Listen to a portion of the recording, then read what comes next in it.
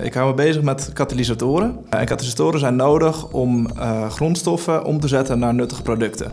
90% van uh, de chemische producten die hebben een katalysator gezien in een productieproces. Uh, en de katalysator die ik zelf bekijk, dat is de katalysator die nodig is voor de omzetting van syngas naar methanol. Syngas kan je maken door uh, ruwe grondstoffen gedeeltelijk te verbranden, zoals aardolie en kolen. Um, de syngas kan je dus omzetten naar methanol.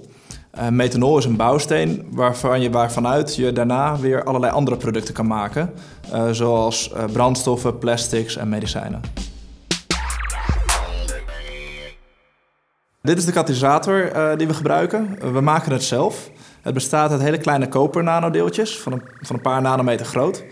Um, en onder de juiste condities kunnen we hieruit uh, methanol maken. Die glazen reactor, uh, daar zit de katalysator in. In het echt gebruiken we metalen reactoren. Uh, en die hebben we nodig omdat we hele hoge druk gebruiken, 40 bar. En we gebruiken hele gevaarlijke stoffen zoals koolmonoxide en waterstof. En koolmonoxide is giftig en waterstof is explosief. en daarom moeten we onze experimenten altijd heel zorgvuldig voorbereiden.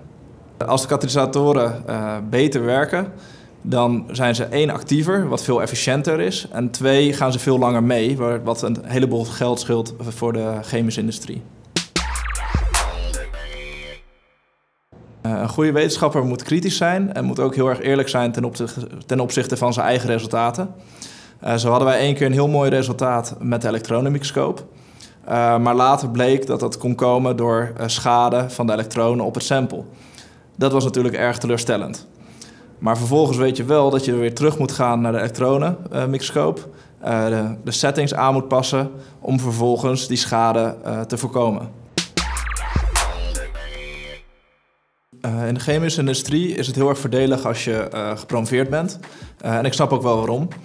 als promovendus leer je, het, leer je een project zelf te managen. Je, je hebt zelf een probleem en die moet je zien op te lossen. Uh, maar tegelijkertijd doe je dat in teamverband met allemaal collega's, studenten en andere mensen. Um, waardoor je ook het managen van projecten uh, leert.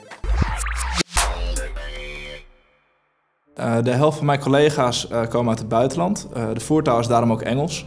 En het is heel erg leuk om om te gaan met mensen afkomstig uit allerlei andere culturen.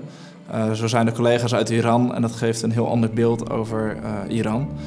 Um, dus aan de ene kant werk ik op een nanoschaal, uh, maar aan de andere kant uh, verbreed ik mijn horizon enorm met dit onderzoek.